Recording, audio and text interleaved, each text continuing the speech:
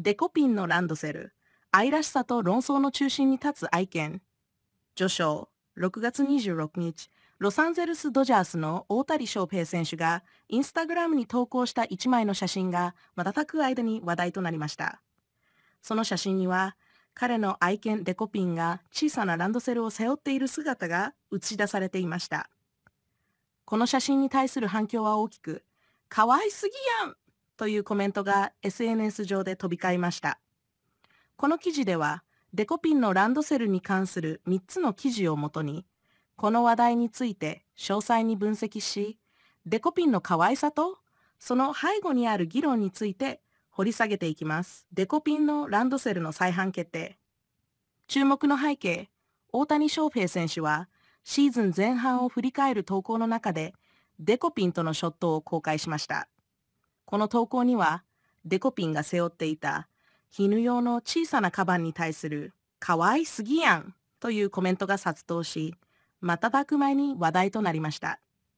この反響を受け、カバンメーカー土屋窯は7月1日からデコピンのランドセルを再販することを発表しました。再販の詳細、チアカマの公式 X イッターアカウントでも7月1日からホームコレクションペットランドセルの予約販売が開始されると告知されました。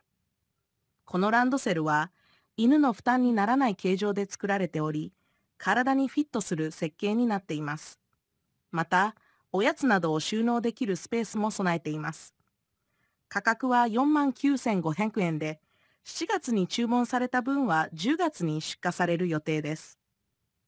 再販されるランドセルは数量限定であり、ウェブのみでの販売となるため、早めの予約が必要です。デコピンの可愛さに対する SNS の反応。デコピンがランドセルを背負っている姿に対して SNS 上では可愛すぎこれは売れるねといったコメントが寄せられましたその一方でデコピンちゃんのランドセルバッグ49005だ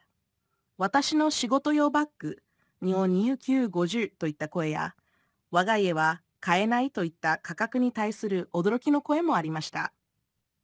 このようにデコピンのランドセルの可愛さに対する反応は賛否両論であり、その価格設定については議論が巻き起こっています。高価なペット用ランドセルに対する賛否両論の声は、その愛らしさと実用性のバランスについて考えさせられます。田んぼアートとデコピンの共演。田んぼアートの歴史、岩手県奥州市では、2008年から歌舞伎や地元の郷土芸能などを題材に田んぼアートが行われてきました。しかし、2018年からは地元出身の大金翔平選手を題材に取り組むようになりました。今年も大谷選手の豪快なバッティングフォームを描いた田んぼアートが見頃を迎えています。車種デコピンの登場。今年の田んぼアートには大谷選手のサバラに愛犬デコピンの姿も描かれています。この田んぼアートは6月末から8月上旬にかけて見頃を迎え、多くの大カニファンが訪れています。真岡市から訪れた親子連れの男性は、今日は大谷選手の試合がないので、大谷選手の空気を感じに田んぼアートを見に来ましたと話しており、デコピンの存在がさらなる魅力を加えています。田んぼアートの細部にまでこだわり、デコピンの愛らしさが忠実に再現されていることが訪れる人々を感動させています。デコピンとペットランドセルの議論。賛成の声。デコピンのランドセルは、その可愛さから多くの注目を集めました。SNS 上では、可愛すぎ、これは売れるね、といったポジティブな反応が多数見られます。ペット用ランドセルのアイデアは、ペットと一緒に外出する楽しさを増すアイテムとして評価されています。また、デコピンの愛らしい姿が多くの人々を癒し、日常の中に笑顔をもたらす存在となっています。反対の声。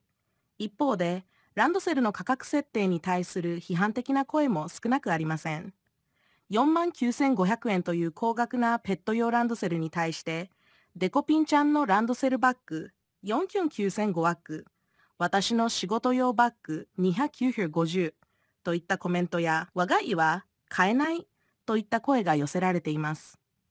高価なアイテムがペット用品として適切かどうか、その実用性と価値について疑問視する声もあります。ゼルン、デコピンのランドセルは、その愛らしさから多くの注目を集めましたが、その価格設定に対する議論も生まれました。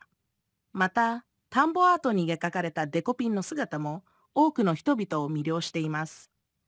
このように、デコピンの存在は単なる可愛さだけでなく、その背後にある様々な議論や感情を引き起こす存在となっています。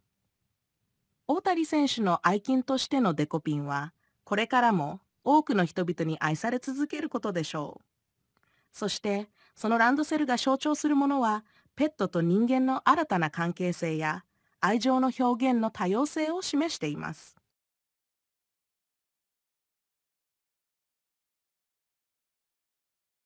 翔平大谷の愛犬デコピンのランドセル。日常の癒しとスター効果。翔平大谷選手と彼の愛犬デコピンの散歩の様子が話題になっています。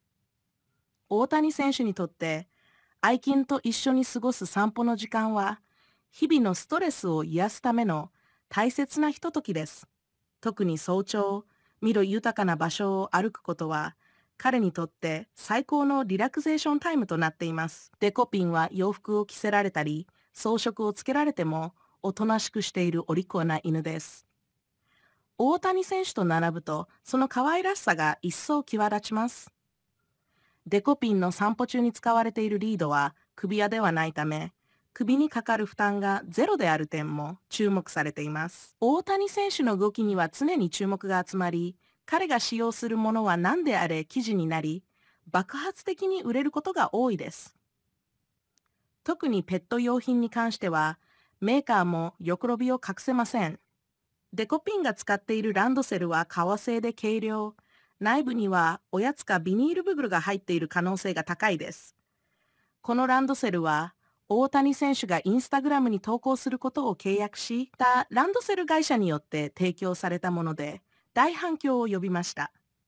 デコピンのランドセルの価格に関しては様々な意見があり、中には自分の孫のランドセルより高いと驚く声もあります。しかし、その可愛らしさと実用性から多くの人々に支持されています。大谷選手の影響力の大きさからデコピンのご飯が分かれば、それもまた爆発的に売れることでしょう。ランドセルの可愛らしさやデコピンの愛らしい姿に多くのファンが感動しています。また、デコピンとの散歩の写真は、大谷選手の奥さんが撮影したものであり、その愛情が伝わってきます。デコピンと一緒に過ごす時間が大谷選手にとって大切な癒しの時間であることがよくわかります。大谷選手とデコピンのエピソードは、私たちにとっても心温まる話題であり、その人気はこれからも続くことでしょう。